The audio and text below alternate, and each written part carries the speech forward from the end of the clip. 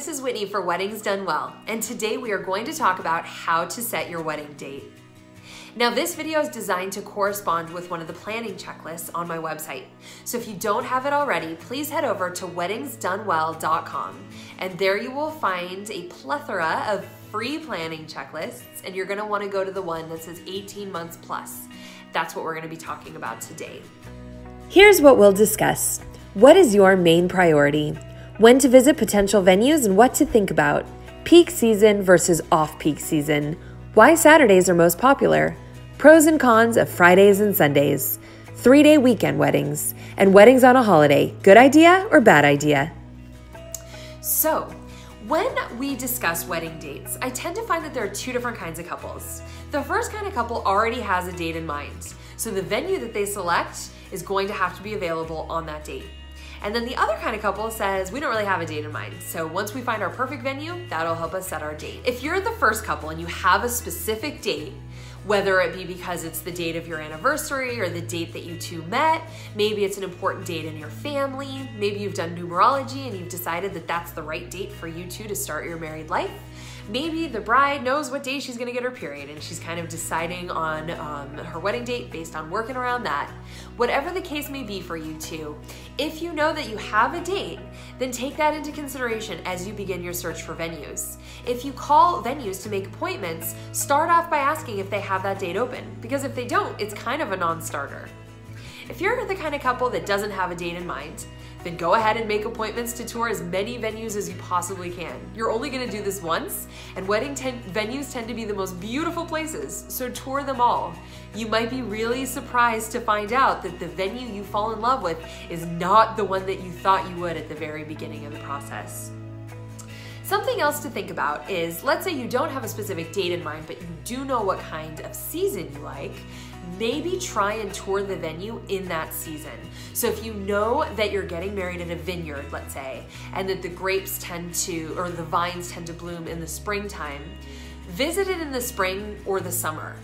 But if the, the, the vines tend to wilt or just completely diminish in the fall and the winter seasons, don't really visit it then because you're not really gonna get the full sense. And you might walk it and say, oh, this place is ugly, when really it's not. It's actually beautiful in the springtime. You're just there at the wrong time.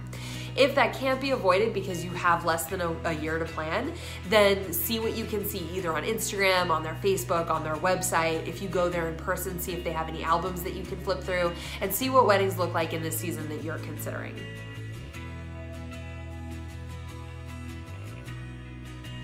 Here are two terms that you're going to need to know peak season and off peak season.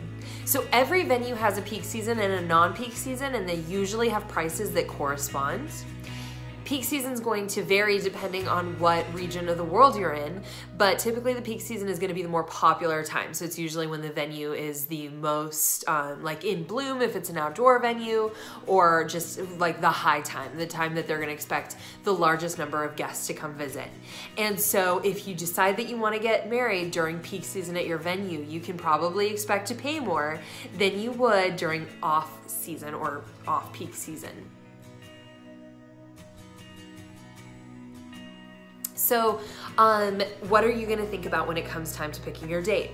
Well, most people want a Saturday wedding, and the reason that they do is because that's when people are off. Like they're off during the day, so they have that time to get ready for your wedding, and then they come to your wedding typically in the late afternoon, early evening, and then they can party as late as they want to because the next day is Sunday and they probably don't have to go back to work. Because Saturday is so popular, venues tend to charge the most for a Saturday wedding if you're willing to um, do something other than a Saturday in order to save some money, there are definitely pros and cons to Friday and Sunday weddings, so let's talk about those.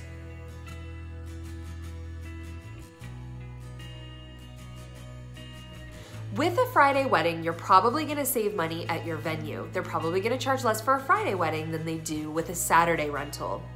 If you get married on a Friday, what that's going to entail is that your guests, if they're local, will probably need to take a half day off work or maybe even a full day. So there is the inconvenience factor to them.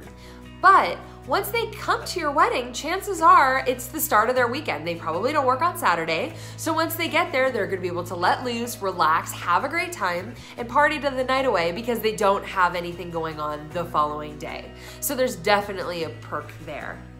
If you have a Friday wedding, then you're probably gonna have a rehearsal dinner on Thursday. The people that would attend your rehearsal dinner would be your family, your wedding party, and then maybe anyone that's coming in from out of town.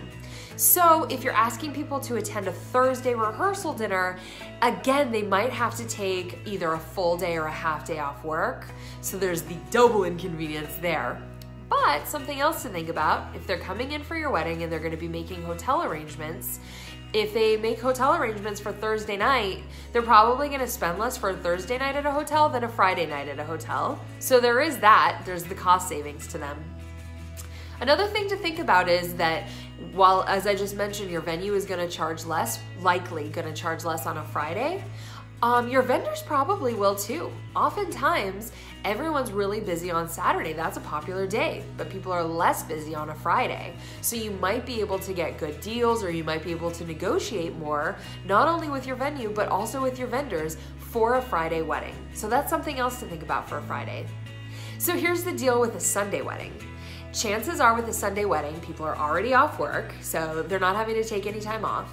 But when it comes to a Sunday wedding, you're probably gonna need to start earlier because chances are they do go back to work on Monday. So if you wanted to have, let's say, a four o'clock, five o'clock wedding ceremony, um, that's probably not a good idea because in my experience, I, I tend to see people leave Sunday weddings starting around 8 or 9 p.m. and usually the place is cleared out by 10. So if you're planning to start at 5 with the intention of going until like midnight, 1 in the morning, I would not count on that for a Sunday wedding. And if that's a deal breaker for you, stick to a Friday or a Saturday. But again, Sundays tend to be less popular at venues and less popular with vendors, so you're probably going to save a good amount of money if you're willing to do a Sunday wedding. Also, if you do a Sunday wedding, your rehearsal dinner is probably on Saturday, and again, guests are probably already off, so they won't be required to take any time off work in order to attend your Saturday rehearsal dinner. So, um, a downside potentially would be that you'd have a harder time finding a restaurant that's available on a Saturday night for a rehearsal dinner, because that also tends to be peak time at every restaurant. But assuming you can make an advanced reservation and that that isn't a problem, then a perk for a Sunday wedding would definitely be a Saturday rehearsal dinner. And another thing to think about is it doesn't have to be a dinner. You could do a Saturday morning brunch or something like that. One other thought that I will leave you with is that if you're getting married on a Sunday, but it's a three day weekend, you're probably not gonna save anything because those are actually one of the most popular weekends, those three day weekends. So it almost is like Sunday becomes Saturday because guests don't have work the following day, so they can stay late and they can party real late. And chances are, if your guests are coming in from out of town, they're actually probably gonna book the whole three days to be there for your wedding. And that's just great. You know, that's great for you, it's great for them. But the venues know that. It makes it extremely popular of a time to get married. So then they are gonna charge your premium. So don't look at a Sunday wedding connected to a three day weekend as a cost saving opportunity, because it definitely is not.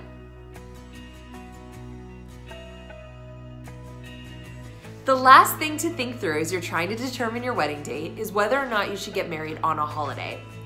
So holidays like New Year's Eve, Valentine's Day, maybe even Halloween, I've done weddings on all three of those holidays and they've been a lot of fun. So I'll give you two tips if you've decided that you'd like to use a holiday as part of your wedding date. Um, first of all, acknowledge the holiday and definitely roll with it. So don't have a Halloween wedding and try not to acknowledge that it's Halloween, like just pretend that it isn't, because that would be weird. If you're having a holiday wedding, go with it. And that doesn't mean go over the top and like make it gimmicky or cheesy. But like I did a Halloween wedding once where the band was dressed up in these really cool, like sophisticated but cool Halloween costumes and um, the wedding was kind of dark like their color scheme was kind of like dark and dramatic and moody. And i think that kind of was the couple which is why they were more inclined to have a halloween wedding in the first place.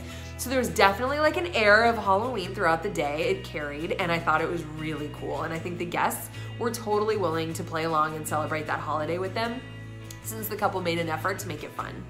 And then also, if you're getting married on a holiday that's more like romantic, you know, like New Year's Eve or like Valentine's Day, definitely find a way to include the couples in the romance of it. So it's their Valentine's Day and they'd probably be spending it together and doing something special. So if they're gonna spend it with you, make sure they still get to do something special. If it's a Valentine's Day wedding, maybe pass out roses or pass out chocolates or make it a really cute photo booth or something like that.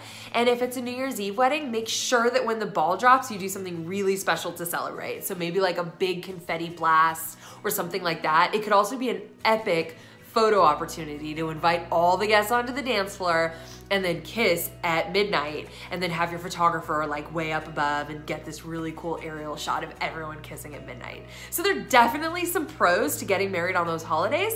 And I will say they're not necessarily the most popular time to get married. So surprisingly, maybe surprisingly, you could potentially get a really good deal on a venue on one of those holidays. So if you're willing to roll with it, I think it could be great.